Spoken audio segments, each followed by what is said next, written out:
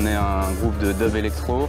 Il nous a invités à jouer ici au Festival. On a démarré notre groupe en fait à un moment donné où il y avait quand même pas mal de dub en France instrumental.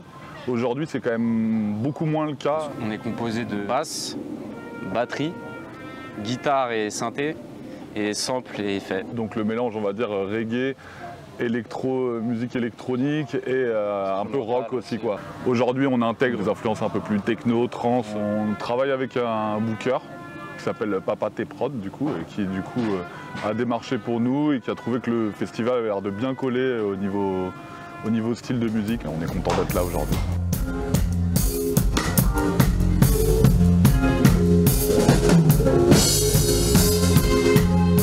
Ça nous semble euh, vraiment une bonne chose que le festival est dans cette démarche-là écologique parce que nous-mêmes on considère que bah, ça fait partie des priorités aujourd'hui de, des questions, on va dire, euh, de société politique en général à traiter. Donc c'est vraiment une bonne chose que le festival prenne cette approche-là.